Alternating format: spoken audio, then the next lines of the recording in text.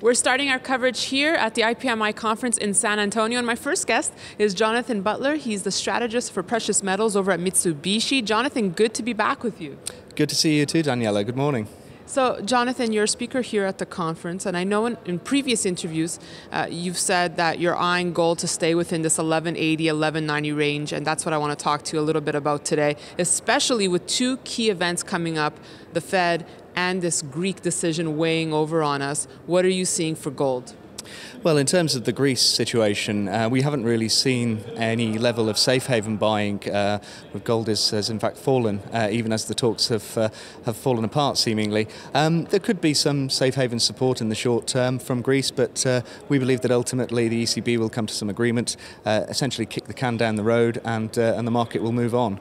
Um, I think it's rather more interesting what the prospects are for gold potentially in a higher interest rate world, and we'll hear from the Fed uh, later later this week on, on what their uh, expectations are. Uh, we're not expecting any any major changes. We're still viewing September or even October uh, as being the time of the first interest rate rise, and even then, it's going to be a fairly modest 0.25 uh, percent. Exactly. So let's let's talk about that. Even if we do see that interest rate hike, what would be the repercussions uh, for gold and silver? Well, I think in the short term, uh, we might see further weakness in gold. Um, it may be more a case of it being priced in ahead of the fact of an interest rate rise, um, just as we've seen over the past two years. Uh, gold is down something like 26% on the uh, April 2013 level when tapering first began to be talked about by the Fed. Um, so if we see a, a strengthening of the dollar uh, in anticipation of interest rate rises, then that's probably going to weigh on gold and the precious complex.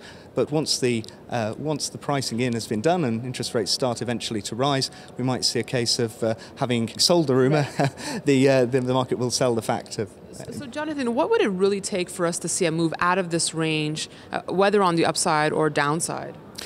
Well, I think uh, there's there's the potential that uh, the yield environment may stay fairly favourable towards gold, um, and even though uh, short-term U.S. Treasury yields have been creeping higher in expectation of interest rate rises, and also uh, because of the strengthening of the dollar, uh, I do think that if we are to see inflation pick up over the longer term, then this may offset uh, the, the higher yield environment and keeping the environment fairly favourable for non-interest-bearing precious metals investments. Now, finally, uh, Jonathan, I know before we were speaking about the precious metals and which one you think has the best fundamentals right now, and you think it's palladium. Yes, I think the fundamentals for palladium are still extremely strong. We have a supply demand deficit as, as measured on an annual basis. Uh, there is still, of course, the potential uh, for, for further gains in autocatalyst demand. Uh, we're seeing some, some pretty strong numbers out of China, despite the economic slowdown seemingly there.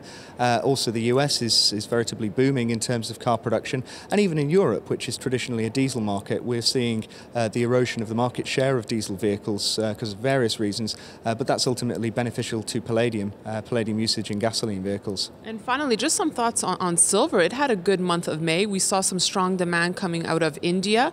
Are you bullish silver?